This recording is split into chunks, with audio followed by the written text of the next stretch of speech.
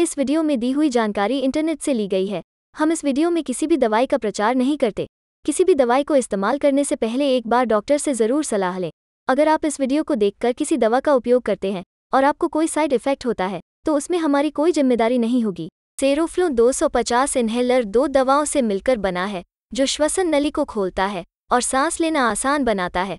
इसका उपयोग दमा, सांसों की घरघराहट और सांस फूलना और क्रोनिक ऑब्स्ट्रक्टिव पल्मोनरी डिसऑर्डर फेफड़ों की एक बीमारी, जिसमें फेफड़ों में हवा का प्रवाह रुक जाता है, के इलाज में किया जाता है। आपका डॉक्टर आपको बताएगा कि आपको अपने इन्हेलर का इस्तेमाल कितनी बार करने की ज़रूरत है।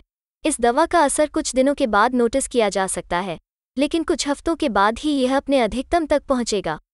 इस दवा को असरदार होने के लिए इसे नियमित रूप से लिया जाना चाहिए, इसलिए आप इसे लेते रहें, चाहे आपको कोई लक्षण न हो।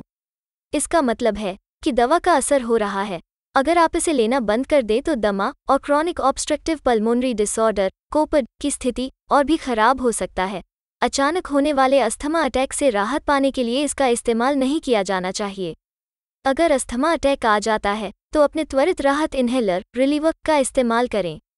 इस दवा से लाभ प्राप्त करने के लिए आपको यह सुनिश्चित करना होगा कि आप अपनी इन्हेलर तकनीक सही रखें, अन्यथा यह भी काम नहीं करता है।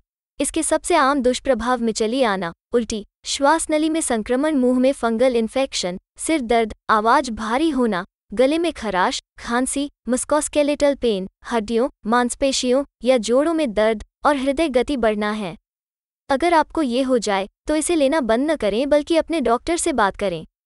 इन्हेलर का इस्तेमाल करने के बाद अपने मुँह और गले को पानी से धोकर या अपने दांतों को ब्रश करके आप इनमें से कुछ लक्षणों की रोकथाम कर सकते हैं। दूसरे दुर्लभ साइड इफ़ेक्ट हैं, जो गंभीर हो सकते हैं। अगर आप उनके बारे में चिंतित हैं तो अपने डॉक्टर से बात करें।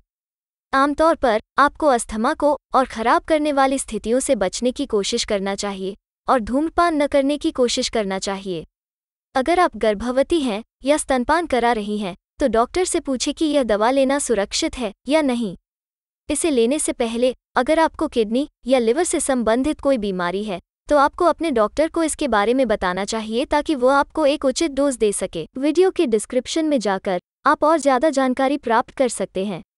अगर आपको यह वीडियो पसंद आया है तो इस वीडियो को लाइक करें और इस चैनल को सब्सक्राइब करके नोटिफिकेशन बेल आइकॉन पर क्लिक करें, जिससे आपको भविष्य में और ऐसी वीडियो देखने को मिलती रहे। धन्यवाद।